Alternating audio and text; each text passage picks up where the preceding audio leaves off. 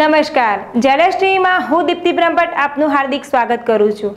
આગળ વાત કરીએ તો, બિન સચિવાલયની પરીક્ષા રદ થયા અંગે સિદ્ધપુર પ્રાંત અધિકારીને આવેદનપત્ર આપવામાં આવ્યું.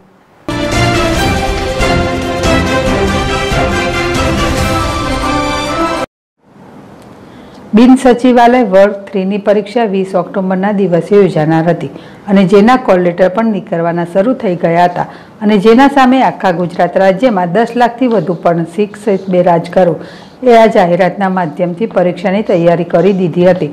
અને પરીક્ષાનું સમયપત્રક પણ આવી ગયું હતું અને અચાનક જ સરકારશ્રી દ્વારા આ બિન સચિવાલયની પરીક્ષા રદ કરવાનો નિર્ણય આવતા આ શિક્ષિત બેરાજગારો અને એમના પર આશા લગાવી બેઠેલા એમના પરિવારજનોના ગાલ પર અત્યાચાર રૂપી તમાચો માર્યો એવું કહી શકાય.